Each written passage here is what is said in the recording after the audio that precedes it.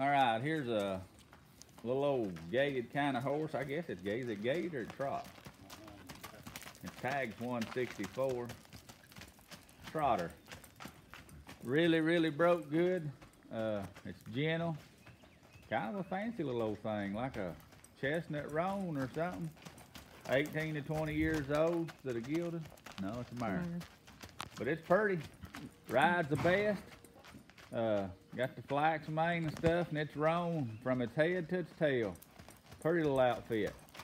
Price on it 700. Deadline's Friday. Stands 14.3.